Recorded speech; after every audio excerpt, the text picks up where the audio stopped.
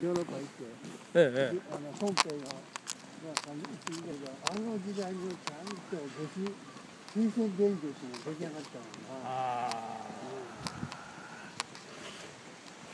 あれはあれは何年ぐらい前の話？紀元紀元前紀元前の話すごいな。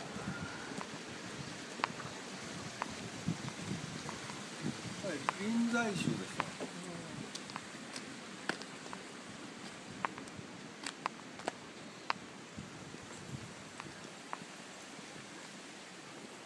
あやっぱり紅葉の時は綺麗やなこれ綺麗よな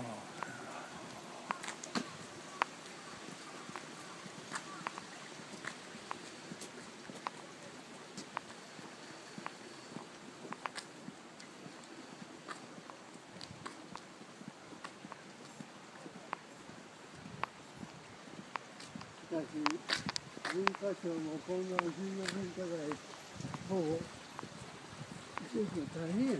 ああなあうち金で売ってると思うけどうな、んああすごいかすごい修理だけでもすごいお金だな金閣寺さん。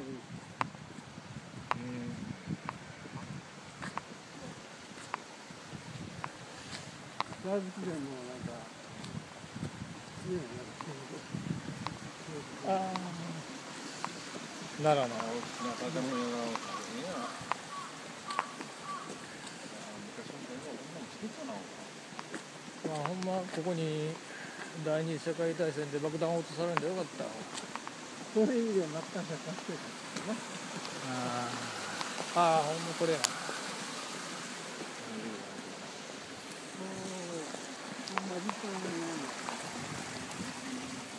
これがそのあの琵琶湖の水が流れてるさっきのやつ川がねああそうだったのか昔だけどここ通すのに反対があったやろな。そうやな。今や今やったら通させてくれへんわ。初